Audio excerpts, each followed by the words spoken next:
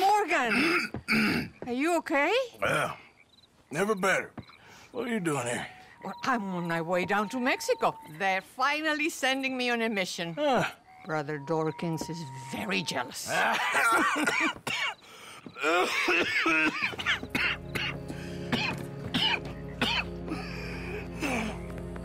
What's wrong? I'm, uh, uh, I'm dying, sister. Okay. Yeah, I got TB. I got it.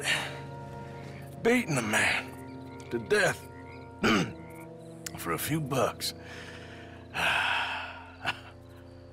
I've lived a bad life, sister.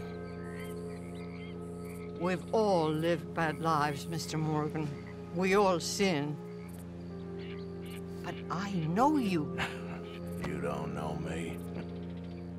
Forgive me. But that's the problem. You don't know you. What do you mean?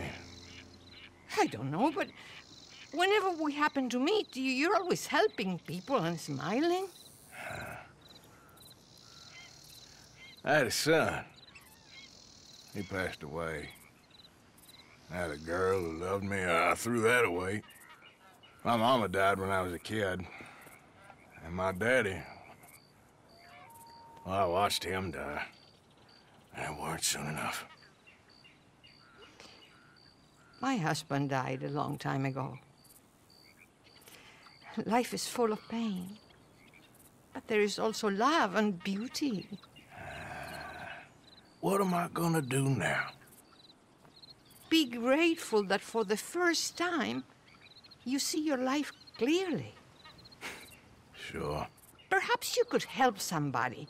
Helping makes you really happy.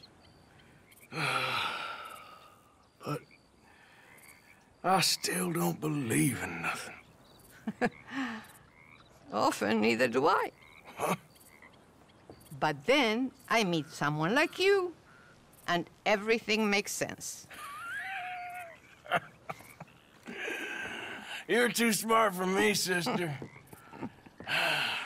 I guess I... I'm afraid.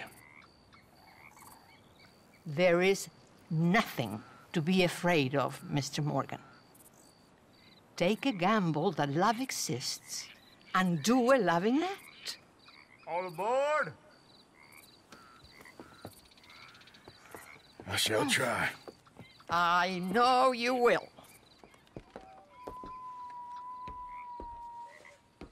Goodbye, goodbye, Mr. Morgan.